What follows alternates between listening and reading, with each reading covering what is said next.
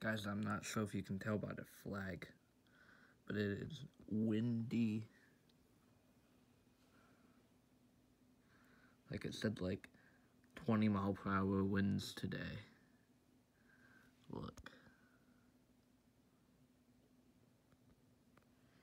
Some stuff got blown around, like the chicken water for the warmer months. And, well, some of the chairs were blown around earlier, but, but my dad, or my mom, I guess, fixed them. And look at that, the lid, like, kind of fell off of that too. It's attachable though, so like, it's all Gucci. That flag is really moving right now, and look. oh yeah. Windy.